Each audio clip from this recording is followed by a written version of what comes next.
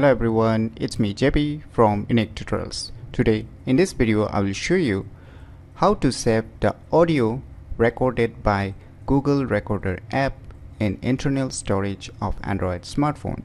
So without further more delay, let's begin. So Google Recorder application is actually a Google voice recorder or you can call it Google audio recorder. So it's an official recorder applications from the Google itself. So let me show you by opening the Google recorder. So you can see this is a Google recorder. So let me try to record it firstly. So let me give you a demo. Hello everyone. It's me JP from Unique Tutorials. Today in this video I will show you. So you can see here let me click on save. And you can see here above it's written that recordings are only saved on your phone. That means don't confuse here it's mentioning that it will save on your phone but actually it's only saved inside the application itself. So if I go to the file manager also so let me show you. Let me go to the internal storage and let me show you a recording folder created by the Google Recorder application. So you can see here. So let me tap on it. So there is no file saved inside this folder. Right. So if I tap on the three dot icons above also if I go to the settings also there is no such options to save any recorded file. And even if I tap on it also and let me tap on it. So you can see here I have only options to save to the Google Drive. That means I need to save it onlinely. So there is no options to save offlinely or in the internal storage or the SD card storage. So for this what you need to do is just open the Play Store. And in the Play Store just search for one application name as Phone Saver. And you can see here on the first list uh, application name is Phone Saver. Just tap on it and just click on install to install this application firstly. So wait for a few seconds until the complete installation is done. So once the installation is done just tap on open and just click on allow. Just click on ok click on OK. Now below you can see here uh, rounded plus icon just tap on it and select your location where you want to save any files.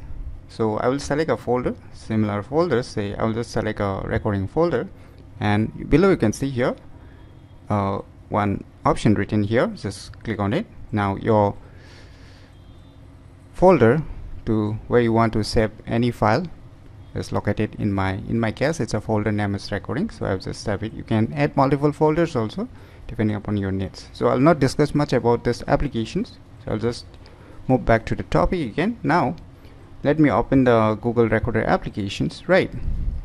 So let us try to save this recorded file in the internal storage of our Android smartphone. So what I will do just tap and hold it and select it that is which you want to save internally.